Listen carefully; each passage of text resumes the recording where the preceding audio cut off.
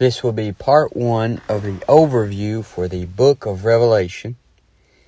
Now, Revelation has 22 chapters, 404 verses, and around 12,000 words. It's 90 AD, and the author is John, the Apostle John. Now, our three applications historical, John writes to seven churches of Asia Minor of his day, and he writes to reveal to them the coming day of the Lord. Doctrinal, it's written to tribulation saints to explain events that are going to be unfolding around them.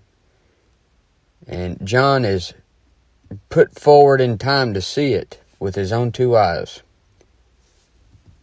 Devotionally, what me and you can get out of it, it shows the history of the church age in chapters 2 and 3, and the rest of the book shows the events that we will bypass when we leave in the rapture, so it should be a reminder to be thankful that we've been delivered from the wrath to come.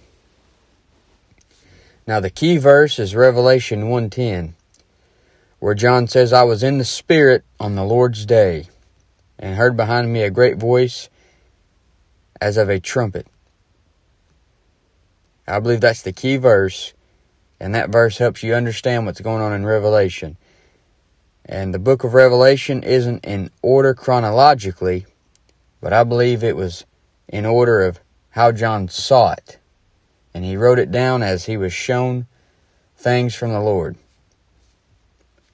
And it may or may not be in chronological order in some spots.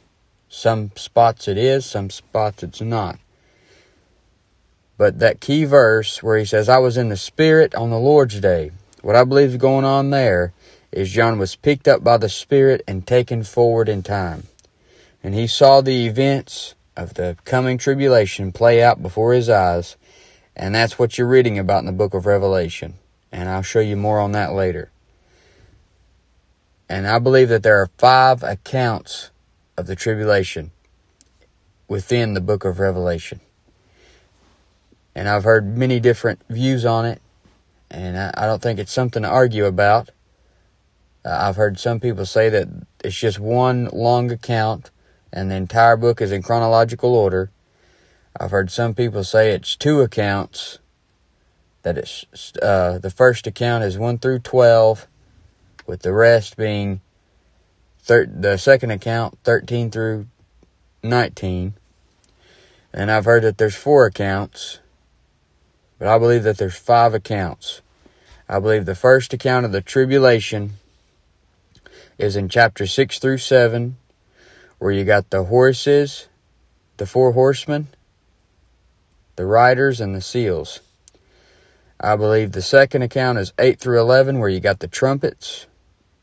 The third account is chapters 12 through 14, where it talks about the devil and the Antichrist.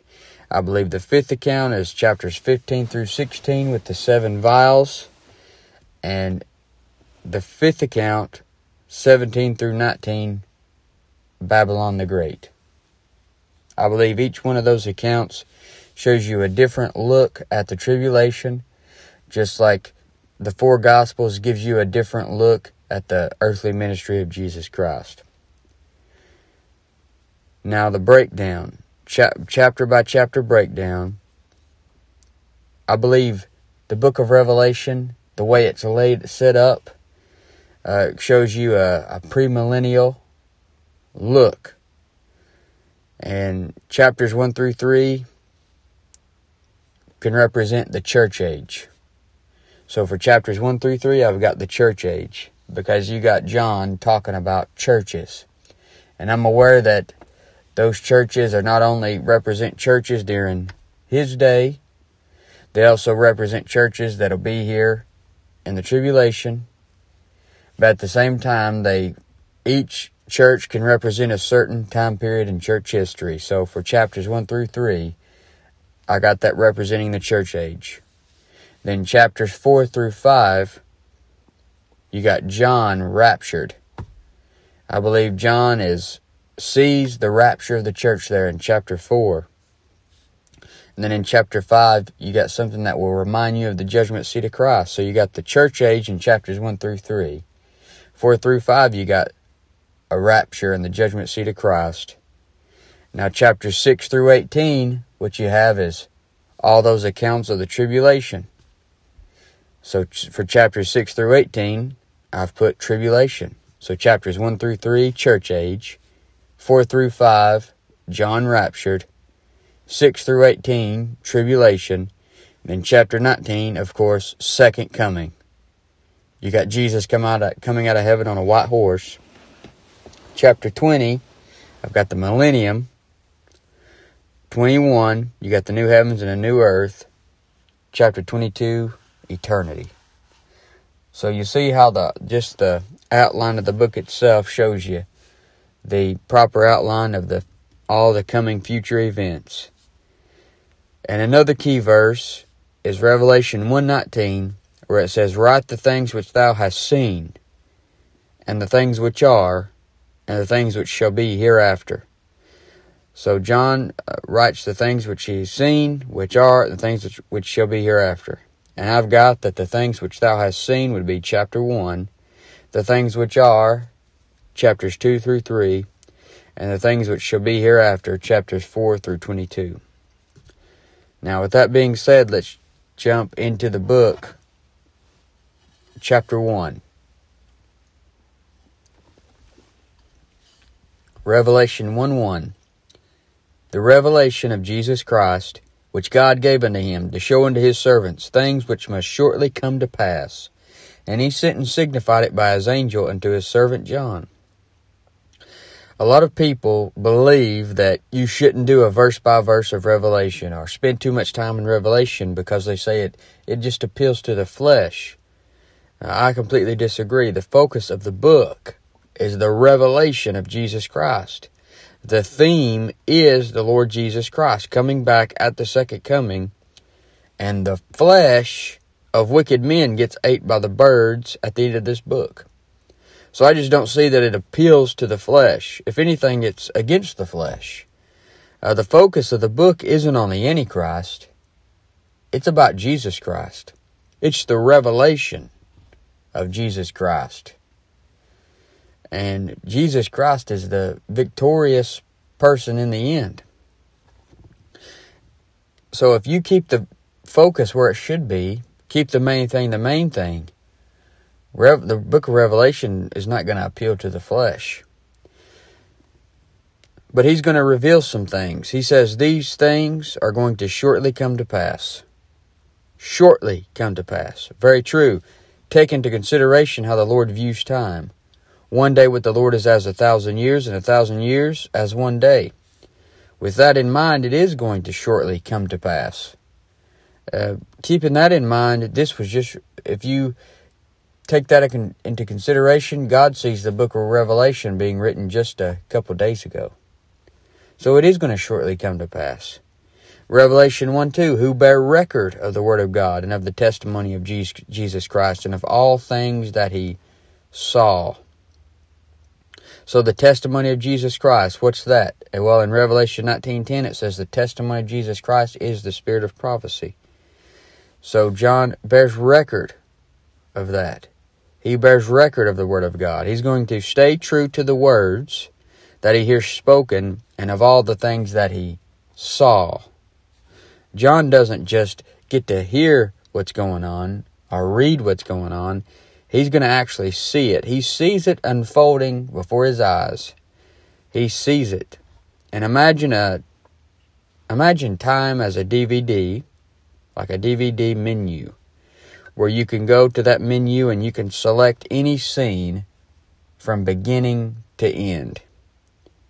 Like a scene selection of time.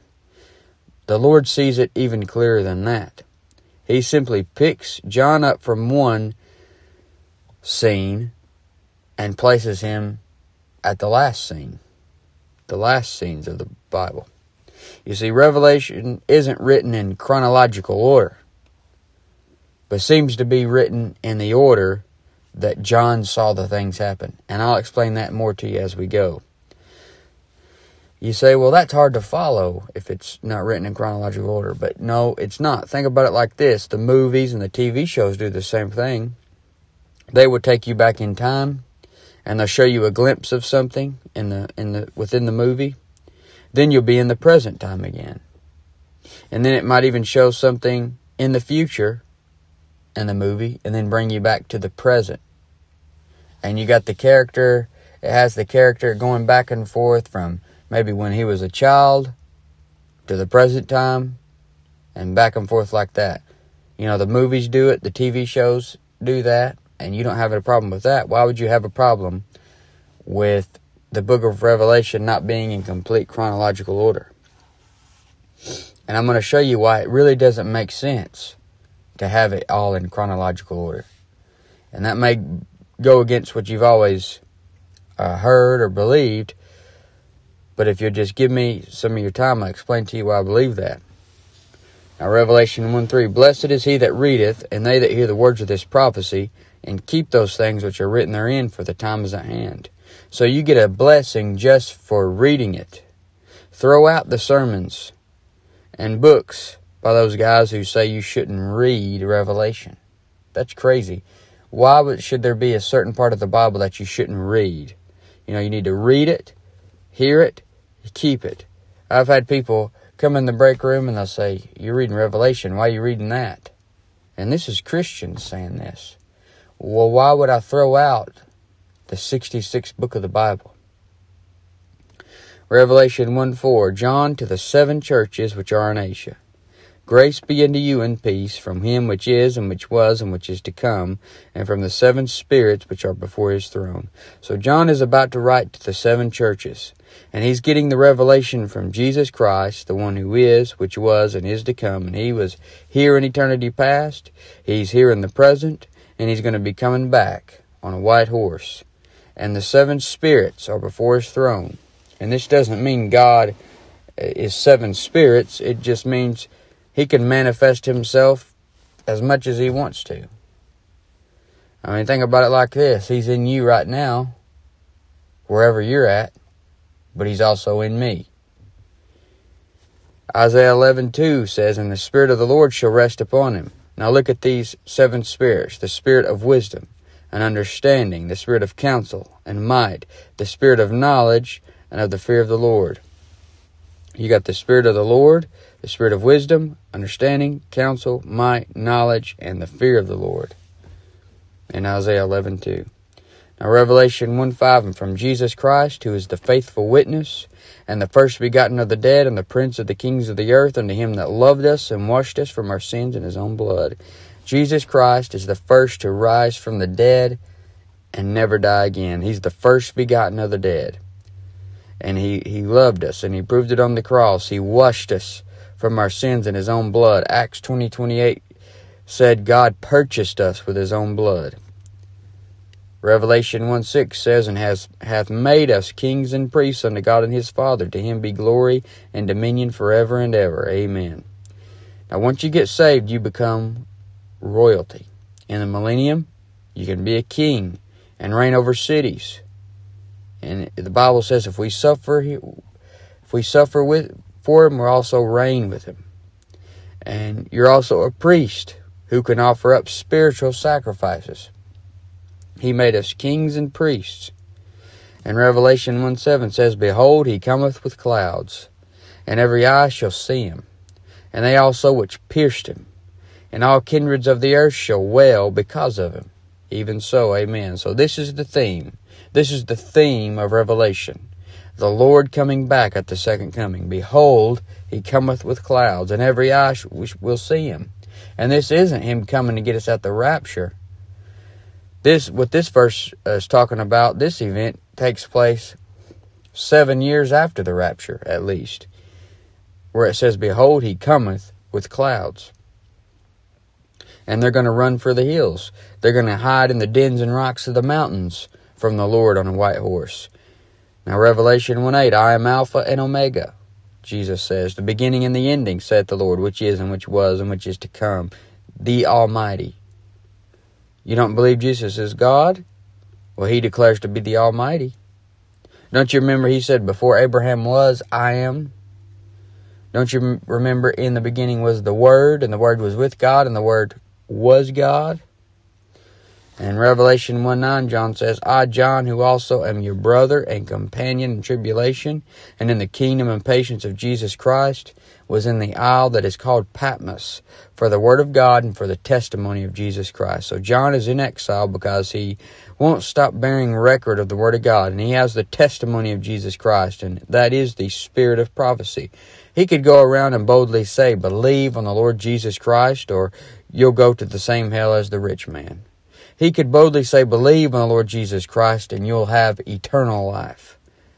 That's the spirit of prophecy. He's, he's telling you the future. And you see, we don't have prophets today like they did in the Old Testament, like with Elijah and Elisha. But you could be a prophet just by getting a Bible, reading what the Bible says about the future, and then repeating those words. That is prophesying. That's what prophesying is now. When you prophesy now, you have to use the Bible because only the Bible can tell you the future. God's not going to come to you in a vision or a dream or something like that. You've you've got to get it from the Bible itself. And the testimony of Jesus is the spirit of prophecy. Revelation 1:10 I was in the spirit on the Lord's day and heard behind me a great voice as of a trumpet. Now, this verse is key.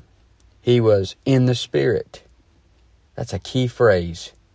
And there's a lot of different um, beliefs about what that phrase means, but I believe if you get this phrase right, it's really going to help you understand what's going on, that phrase, in the Spirit. So, what does the phrase mean? And I just don't want to just tell you what it means and say, well, that's the way it is, that's how it's going to be. I want to show you Scripture to explain why I believe that it means what I believe it means. So, in the Spirit, look at Ezekiel 37 1. It says, The hand of the Lord was upon me and carried me out in the Spirit of the Lord and set me down in the midst of the valley which was full of bones. So, the hand of the Lord was on Ezekiel, carried him out in the Spirit of the Lord and set him down somewhere else, specifically here in the valley of dry bones. Now look at the book of Revelation itself and see this phrase. Revelation 17:3 it says so he carried me away. Notice that again, carried me away. John being carried somewhere, carried me away in the spirit into the wilderness. And I saw, I saw a woman sit upon a scarlet colored beast now look at Revelation 21:10. And he carried me away. Once again, someone being carried. And he carried me away in the spirit. There's that phrase again. To a great and high mountain and showed me that great city, the holy Jerusalem, descending out of heaven from God. So when John is in the spirit, he is carried away somewhere else geographically, just like how in Acts 8 the Spirit of the Lord called away Philip. Now, was he was his body left in autopilot on the Isle of Patmos? I don't know. Um, but he was part of him was carried somewhere else and shown the things that he's writing about in the book of Revelation. Okay, so in the Spirit means the Spirit literally took John somewhere else and showed him some things. So he was in the Spirit on the Lord's Day. Well, what's the Lord's Day? Well, the day of the Lord. The day of the Lord is what? What is the day of the Lord? Well, it can cover a long amount of time because you know why? A day with the Lord is as a thousand years, and a thousand years is one day, but primarily it refers to the second coming. But you'll find where the day of the Lord covers from the tribulation, the second coming, the millennium, all the way up to the great white throne judgment. And that's what you got in the book of Revelation. Also, don't forget the context of the chapter and the book of Revelation itself is John being carried forward in time to see end times events and write about it. So John was in the Spirit on the Lord's day. The day of the Lord. Well, you say that's different. The Lord's Day and the day of the Lord. Well, you've got your birthday and the date of your birth. That's the same. Just because it's not the exact same phrase doesn't necessarily mean it's not the same. Now, I don't believe the Lord's Day refers to Sunday because every day is the Lord's Day. Um, a lot of people get the idea that Sunday is a special day set apart from all the rest, but actually it's really not. It, Paul even says, One man esteemeth one day above another, another man esteemeth every day alike. Let every man be fully persuaded in his own mind. So it's not so much a separated day that uh, because Paul said, "Let every man be fully persuaded in his own mind." I mean, think about it like that. If it was a if it was the Lord's day, then you couldn't be fully persuaded in your own mind. You would have to say, "This is the day. This is a special day. We need to set aside." But we don't have a certain day like that. You know, like they had the Sabbath. They had the Jews had to keep the Sabbath. You know, you could go to church on Saturday and it wouldn't matter. If a, ch- if a church chose to meet on Saturday instead of Sunday, I don't believe that, that that matters. And I know the disciples met on the first day of the week, but Paul came back and said, Let every man be fully persuaded in his own mind about it. So John's in the Spirit on the Lord's Day. I believe that's the day of the Lord. And if you want to believe that's Sunday, then that's perfectly fine too. But I believe that this really helps you understand and sets that's the this is the key verse. Because John's saying I was in the spirit on the Lord's day. And he's being carried away in the spirit and shown the end times events. And that's what's going on. Revelation 1:11 saying I am Alpha and Omega the first and the last and what thou seest write in the book and send it unto the seven churches which are in Asia, unto Ephesus, and unto Smyrna, and unto Pergamos, and unto Thyatira, and unto Sardis, and unto Philadelphia, and unto Laodicea. He says, What thou seest, write in a book. John is going to not only write things that he hears, but he's actually seeing it with his own two eyes. And I turned to see the voice that spake with me. And being turned, I saw seven golden candlesticks, and in the midst of the seven candlesticks one like unto the Son of Man, clothed with a garment down to the foot, and girt about the paps with a golden girdle. His head and his hairs were white like wool, as white as snow, and his eyes were as a flame of fire, and his feet like unto fine brass, as if they burned in a furnace, and his voice as the sound of many waters. Now the description of the of the Lord here puts you in the context of the day of the Lord even the descriptions of the Lord. It puts you in the context of the day of the Lord, the second coming, because John is in the Spirit on the Lord's day. It's it is like John is right there speaking to the Lord in the future, right before or right as the second coming happens, and the Lord's talking to him there. Notice because notice it says his eyes are as a flame of fire, just as it says at the second coming in Revelation 19:12. Uh, Jesus Christ went to the heart of the earth for three days and three nights. Jesus calls hell a furnace of fire. So it makes sense that his feet are as if they burned in a furnace. And when the three Hebrews were th- threw into the furnace in Daniel, Jesus walked in. So his feet are as fine brass as if they burned in a furnace. He's walked through that fire. He's been in the furnace. And at the second coming, he comes in flaming fire, taking vengeance. So his feet are as if they burned in a furnace. In Revelation 1:16, and he had in his right hand seven stars, and out of his mouth went a sharp two-edged sword, and his countenance was as the sun shineth in his strength. The sharp two-edged sword matches what comes out of his mouth in Revelation 19. Again, the second come the greatest second coming chapter. He's got a sharp two-edged sword coming out of his mouth. It says in Revelation 1:16 here, where John's in the spirit on the Lord's day, the Lord has out of his mouth a sharp two-edged sword. And when Jesus Christ comes back at the second coming, He's called the Sun of Righteousness, S U N, of righteousness, in Malachi 4 2. He's called the Sun of Righteousness, arising with healing in his wings. And what does it say in Revelation 1.16 here, putting you in the context of the second coming? It says, His countenance was as the sun shineth in his strength. And John says, When I saw him, I fell at his feet as dead, and he laid his right hand upon me, saying unto me, Fear not, I am the first and the last. I am he that liveth and was dead, and behold, I am alive for evermore. Amen. And have the keys of hell and of death. So he was alive. He died on the cross for me and you. He was buried and rose again. Now he's alive forevermore. He went down to the heart of the earth. He took the keys of hell and of death from the hierarchy down there. You see, hell has gates, hell has bars, hell has chains. It's a real physical place, and Jesus took the keys. And he says in Revelation 1:19, "Write the things which thou hast seen, and the things which are, and the things which shall be hereafter." The things which thou hast seen. That's what he saw in chapter 1. The things which are, that's what he's going to see in chapters 2 through 3, and the things which shall be hereafter is what he's going to see in chapters 4 through 22.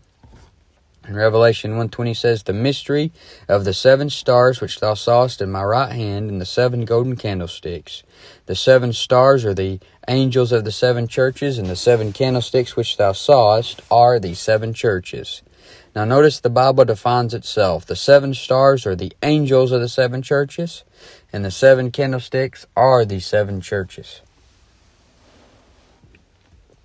Now, chapter 2. Now we're going to get into these seven churches. And first up, you got the church of Ephesus. And Ephesus means fully purposed. And like I said, each one of these churches can represent a certain time period in church history. Ephesus is going to picture the early apostolic church with the apostles. It's uh, going to be 33 AD to 200 AD. The, the foundation of it is the apostles.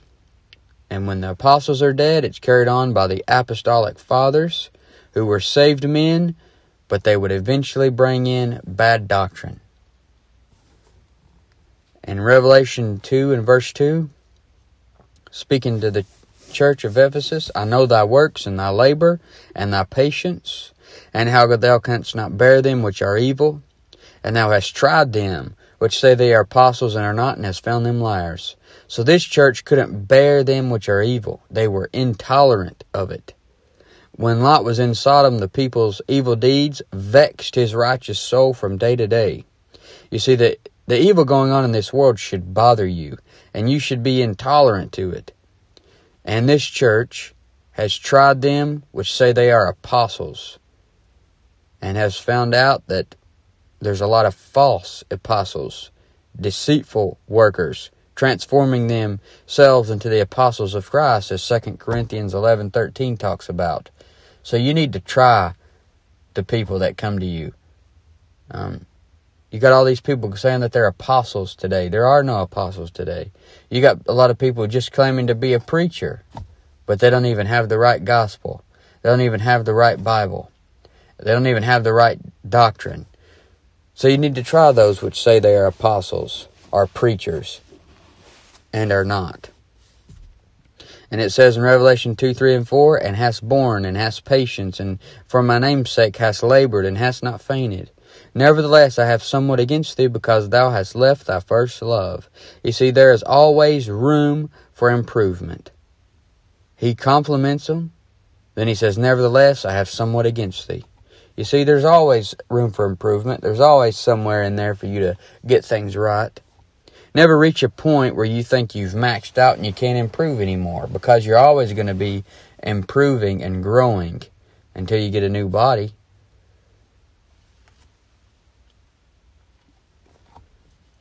First Thessalonians 3:10 Paul says, "Night and day praying exceedingly that we might see your face and might perfect that which is lacking in your faith." You see, there's always something you can perfect. There's always something you're lacking. There's always something you can do better and, and start doing or stop doing. There's always something you need to start doing and always something you need to stop doing. So stop doing something and in place of that thing that you stop doing, start doing something else. Peter says in 2 Peter 1 5, and beside this, giving all diligence, add to your faith. See? There's something you need to add to your faith not staying the same, but growing. He says, add to your faith virtue, and to virtue knowledge, and to knowledge temperance, and to temperance patience, and to patience godliness, and to godliness brotherly kindness, and to brotherly kindness charity. So you keep adding things to it. Add things to your arsenal. Revelation 2 5. Remember therefore from whence thou art fallen, and repent and do the first works, or else I will come unto thee quickly and remove thy candlestick out of his place, except thou repent. So he tells this church to do the first works. And remember the thing that you used to do that made you stay in love with God and His Word? Do that. Do the first works. Do that again. If you feel like you, you've left your first love, go back and do the things that you used to do when you first got saved that was making you stay in love with God and stay in love with the Bible. Revelation 2 6 through 7. But this thou hast, that thou hatest the deeds of the Nicolaitans, which I also hate. So God hates some things. He that hath an ear, let him hear what the Spirit saith unto the churches. To him that overcometh will I give to eat of the tree of life, which is in the midst of the paradise of God. You see, me and you don't need to worry about overcoming. We've already overcome. In 1 John 5 5, it says, Who is he that overcometh the world, but he that believeth that Jesus is the Son of God? Now remember these churches, when you're reading them, they got so many different applications. The Bible is written in such a way that any person from any age could pick up the Bible and read it and get something out of it. You got to remember that. Now remember the tribulation application for these seven churches. If they overcome, they get to eat from the tree of life. In Revelation 22 and verse 2, it says, In the midst of the street of it, and on either side of the river, was there the tree of life, which bare twelve manner of fruits, and yielded her fruit every month, and the leaves of the tree were for the healing of the nations. And in verse 14 of Revelation 22, it says, Blessed are they that do his commandments, that they may have right to the tree of life and may enter in through the gates into the city. You see, we don't have to eat off of the tree, but some people will have to. You see, I'll, I'll already be in a glorified body in Revelation 22. Some people won't be in glorified bodies. Some people will have to eat off of the tree to be able to live forever just like Adam and Eve would have done if they ne- if they had never eaten off of the wrong tree. If they had never eaten off the wrong tree, they would have took of that tree of life and lived forever. You see, there's going to be people who don't get glorified bodies. The only people promised glorified bodies is people from the church age. The tribulation saints aren't promised a glorified body. The millennial saints aren't promised a glorified body.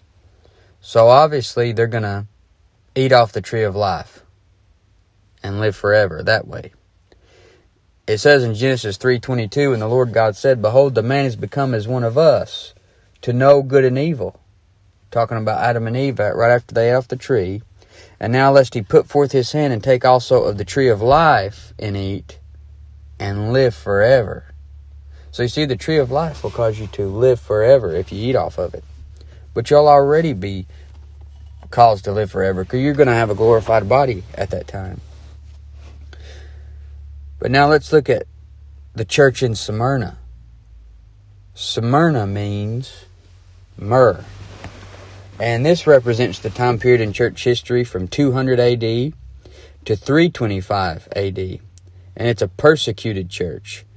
And pagan Rome kills Christians during this time. But the more they're persecuted, the more they multiply. Kind of like Israel was. The more Pharaoh put hard bondage to them, the more they grew and multiplied. So it says in Revelation 2 8 and 9, To the angel of the church in Smyrna write, These things saith the first and the last, which was dead and is alive. I know thy works and tribulation and poverty, but thou art rich. And I know the blasphemy of them which say they are Jews and are not, but are the synagogue of Satan. So they are in poverty, and yet they are rich. Remember, the tribulation saints can't buy or sell. They are poor. They're in poverty according to worldly standards, but they're rich in the eyes of God. Lazarus in Luke 16 was poor in the eyes of this world, but rich in the eyes of God. The opposite was true for the rich man in Luke 16. He was rich in this world, but he was poor in the eyes of God. He tells this church in Revelation 2:10, "Fear none of those things which thou shalt suffer. Behold, the devil shall cast some of you into prison, that ye may be tried, and ye shall have tribulation ten days. Be thou faithful unto death, and I will give thee a crown of life." See, that's a rough verse if you think about it. Fear none of those things which thou shalt suffer, he said. That's a tough thing. In 1 Peter 3:14 it says, "But and if you suffer for righteousness' sake, happy are ye, and be not afraid of their terror, neither be troubled. I believe that if you get close enough to God that you won't be afraid of anything except the Lord. Imagine if you could look a monster in the eye and laugh, because you know that you have Christ in you, the hope of glory. You know that greater is he that is in you than he that is in the world. You can look danger in the face and know everything's going to be okay because if something happens to this body, oh well, you're getting a new body. If the body dies, oh well, your soul departs and goes to be with the Lord. You see, there's a boldness that comes along with being a Bible believing Christian who is prayed up and living right and has their affection on things above. It can make you fearless because you know that nothing can touch your soul. Your soul's untouchable. It says in Job 5:22, "At destruction and famine thou shalt laugh. Neither shalt thou be afraid of the beasts of the earth." You see, there's a fearlessness that comes along with being very close to the Lord and believing the Bible and knowing that nobody can touch your soul. It's invincible. Uh, I think Paul was fearless like that, and it's easier said than done, but if you think about it, all people can hurt your body. They can't touch your soul. They can't touch your rewards. Revelation 2:11 He that hath an ear let him hear what the Spirit saith unto the churches. He that overcometh shall not be hurt of the second death. Me and you won't be hurt of the second death. If we're if you're saved you won't be hurt of the second death. I've already overcome because there was a day when I believed on the Lord Jesus Christ. That was my second birth. If you've got the second birth you're not going to be hurt of the second death the second death is the lake of fire, as it says in Revelation 21 8. It says, Shall have their part in the lake which burneth with fire and brimstone, which is the second death. So the tribulation saint will have to overcome the temptations that will be there in the Antichrist kingdom. And if he gives into the beast system, then he will be doomed for the second death. Next is the church in Pergamos. Pergamos means much marriage. And if this is going to be a picture of a certain time period in church history, then it could be AD 325 to AD 500. And during this time, you have the rise of the Roman Catholic Church. And it says in Revelation 2:12, and to the angel of the church in Pergamos write, These things saith he which hath the sharp sword with two edges. I know thy works and where thou dwellest, even where Satan's seat is, and thou holdest fast my name, and hast not denied my faith, even in those days wherein Antipas was my faithful martyr, who was slain among you, where Satan dwelleth. Now remember that Roman Catholic Church and that belief system, they killed Christians while pretending to be Christians. They killed Bible believers specifically. Just uh, like this guy Antipas here, he died a faithful martyr. And the Lord is looking for people who will hold fast, like Antipas would have, who wouldn't deny the faith, even when facing death. And he's looking for somebody who's going to stick their neck out as a faithful martyr. And Antipas could literally say, he stuck his neck out for the Lord. And the saints who get beheaded stuck their neck out for the Lord. they lose their head, but end up with it back on their shoulders and a crown on top of it. It says in Revelation 2:14 and 15, But I have a few things against thee, because thou hast there them that hold the doctrine of Balaam, who taught Balak to cast a stumbling block before the children of Israel, to eat things sacrificed unto idols, and to commit fornication. So hast thou also them that hold the doctrine of the Nicolaitans, which thing I hate. You see, the Lord just wants them to fix their doctrine. The Nicolaitans, that doctrine has to do with the clergy over the laity, meaning they think there is a big dog like a pope who's ranked up high and everyone else is down low, or the priest is more important than the common layman person. And God hates that. Everybody's equal. We don't look to each other. We only look up to Jesus Christ. And if it's it's cool to have pastors and teachers and mentors, obviously, but Jesus Christ and the scriptures are the final authority and any man can go to the scriptures and end up knowing more than his teachers. It says in Revelation 2:16, "Repent or else I will come unto thee quickly and will fight against them with the sword of my mouth." That is that sharp two-edged sword that comes out of the mouth of the Lord at the second coming. Revelation 2:17 He that hath an ear let him hear what the Spirit saith unto the churches. To him that overcometh will I give to eat of the hidden manna and will give him a white stone and in the stone a new name written which no man knoweth saving he that receiveth it. So the hidden manna it seems the Lord's going to supply the saints with food once again just like he did in the Old Testament now the church in Thyatira Thyatira means odor of affliction, and during this time the body of Christ is going to be persecuted by the Roman Catholic Church.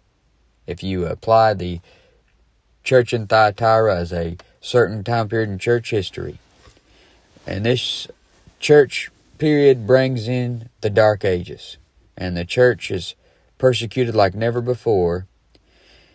And this time period could be 8,500 to 81,000. Now remember, even though these represent certain time periods in church history, they also represent a church in John's day. They also represent a church in the future tribulation. And you can also get some practical stuff out of it for you today. Revelation 2:18 And unto the angel of the church in Thyatira write these things saith the Son of God who hath his eyes like unto a flame of fire and his feet are like fine brass. Now notice each time he addresses another angel uh, of a church, he gives us different details on the risen Savior. Here he says, Who hath his eyes like a faint flame of fire, and his feet are like fine brass. But when he addressed the angel of the church in Pergamos, he said, These things saith he that hath the sharp sword with two edges. Revelation 2:19 I know thy works and charity and service and faith and thy patience and thy works and the last to be more than the first. Do you ever feel like the good things you do are going unnoticed? Because they're not. The Lord knows all about it. He says, I know thy works charity, service, faith, patience.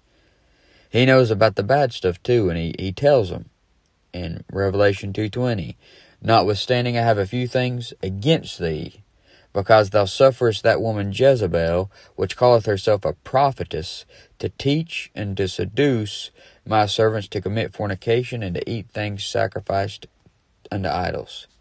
You see, they got this woman preacher in there, and this old Jezebel calls herself a prophetess.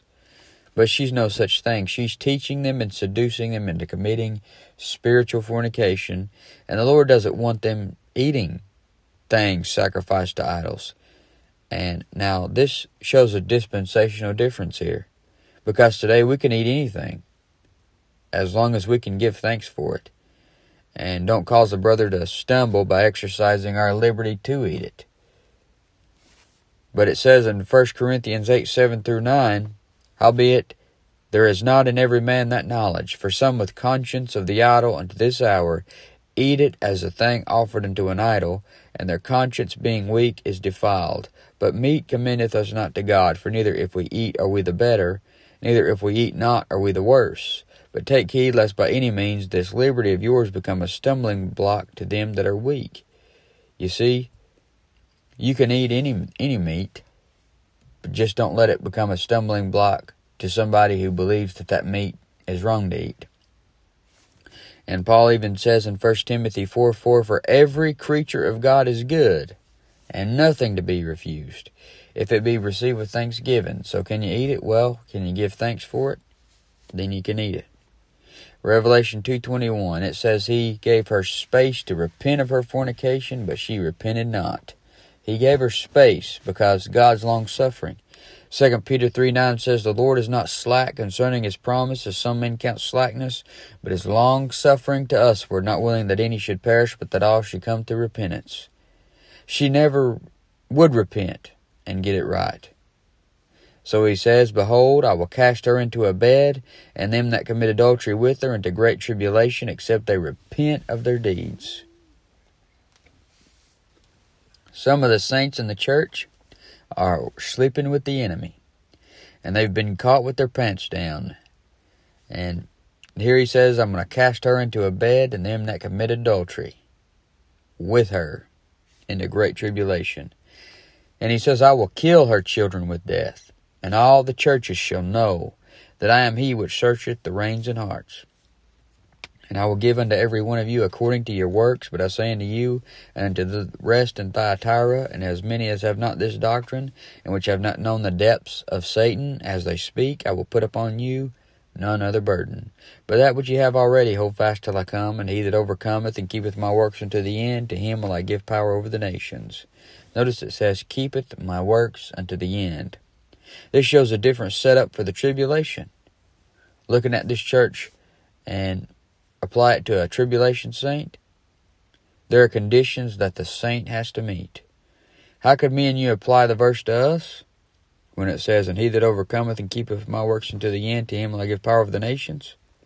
Well, me and you have already overcome. But if we keep works to the end, we will also reign with him over nations. You see, if you suffer with the Lord, you'll reign more in the millennium. Your salvation's secure, nothing can change it. But your rewards can change. Your reign over cities can change. Revelation 2:27 through 28 and he shall rule them with a rod of iron as the vessels of a potter shall they be broken to shivers even as I received of my father and I will give him, I will give him the morning star the morning star is the Lord Jesus it says he that hath an ear let him hear what the spirit saith unto the churches now, chapter 3, we get into the church in Sardis, and Sardis means red ones because this church period is also stamped with bloodshed and the Spanish Inquisition. And the time period could be AD 1000 to AD 1500. If you're looking at this church as representing a certain time period in church history,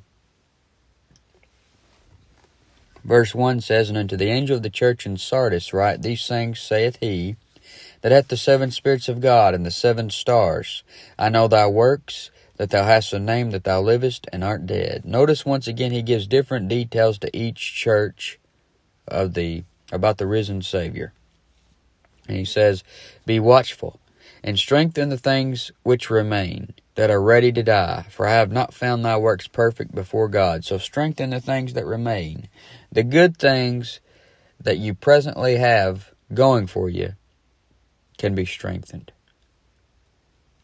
He says in uh, Paul says in First Timothy four seven, but refuse profane and old wives' fables, and exercise thyself rather unto godliness. Exercise, strengthen, strengthen the things which remain. Remember therefore how thou hast received and heard, and hold fast and repent. If therefore thou shalt not watch, I will come on thee as a thief, and thou shalt not know what hour I will come upon thee. Thou hast a few names even in Sardis which have not defiled their garments, and that they should walk worthy with me, walk with me in white, for they are worthy. He that overcometh, the shame shall be clothed in white raiment, and I will not blot out his name out of the book of life, but I will confess his name before my Father and before his angels. You see, everyone's name, everyone's name starts out in the book of life. And since me and you are saved and sealed unto the day of redemption, we don't need to worry about our names being blotted out anymore. They can no longer be blotted out. We've already overcome.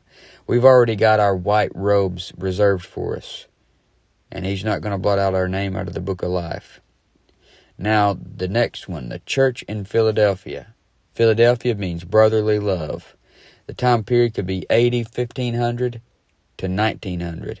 And this is the greatest time in church history. And the church, this church period sees the King James Bible translated, and they're the ones who are said that they kept his word. He says in verse 8, I know thy works. Behold, I have set before thee an open door, and no man can shut it. For thou hast a little strength, and hast kept my word, and hast not denied my name. So they kept his word. And I want it to be said of me that I kept his word. I never want to change it, add to it, or take away from it. Says, Behold, I will make them of the synagogue of Satan, which say they are Jews and are not, but do lie. Behold, I will make them to come and worship before thy feet, and to know that I have loved thee, because thou hast kept the word of my patience. I also will keep thee from the hour of temptation, which will come upon all the world to try them that dwell upon the earth. Behold, I come quickly. Hold that fast which thou hast, that no man take thy crown. Nobody can take your crown unless you let them. But there are some men out there that if you follow them, you will lose your reward. Now, me and you today, we can't lose our salvation, but you can lose a reward. You can lose a crown. Uh, the devil doesn't want you to have reign over anything in the millennium. He believes it's all his. So he will place men in your life that can take your crown if you let him. Him that overcometh will I make a pillar in the temple of my God, and he shall go no more out, and I will write upon him the name of my God, and the name of the city of my God, which is New Jerusalem, which cometh down out of heaven from my God. Notice New Jerusalem comes down. It comes down out of heaven. When you think about it, you don't really spend eternity in heaven. Heaven comes down, a little piece of heaven comes down to you. And uh, it says, And I will write upon him my new name. How would you like to be autographed by the Lord Himself? Now, the, the next one Laodicea, the church of Laodicea. Laodicea means rights of the people and the time period could be 80, 1900 to the rapture. This is the church period we're in now. This is the church that goes into apostasy. This is the worst condition the church has ever been in. He says, I know thy works, that thou art neither cold nor hot. I would thou wert cold or hot. So then, because thou art lukewarm and neither cold nor hot, I will spew thee out of my mouth. One way to look at this is if you're lukewarm, you're satisfied. If you're hot or cold, which the Lord would have you be hot or cold, then you're not satisfied and you're wanting to do more and more for the Lord. But if you're lukewarm, you're satisfied, you're staying put. He says, Because thou sayest, I am rich, and increase with goods, and have need of nothing, and knowest not that thou art wretched and miserable, and poor, and blind, and naked. See, that's what Hollywood says. They say, I'm rich. I've got need of nothing. That's what a lot of Christians act like. They think they know the whole Bible and don't need anything else. And the world's philosophy is just like this church, but they don't realize that they are wretched and miserable, poor, blind, and naked. And a lot of mega churches out there have nice buildings and millions of dollars. They don't have the Word of God, so they are miserable, poor, blind, naked. I counsel thee to buy of me gold tried in the fire, that thou mayest be rich and white raiment that thou mayest be clothed, and that the shame of thy nakedness do not appear. And anoint thine eyes with eye salve, that thou mayest see. He wants them to go through trials and come out as gold. He wants them to put eye, eye salve on the eyes because they are blind to the things of God. They haven't kept His word like the Philadelphia church did. So they become more and more blind to the truth. He says, As many as I love, I rebuke and chasten. Be zealous, therefore, and repent. Behold, I stand at the door and knock. If any man hear my voice and open the door, I will come into him and will sup with him and he with me. You see, they won't ever let the Lord in. They just think he's telling a knock knock joke. Uh, they can't ever get to a point where they take the Christian life serious. But he says, To him that overcometh, will I grant to sit with me in my throne, even as I also overcame and am set down with my Father in his throne.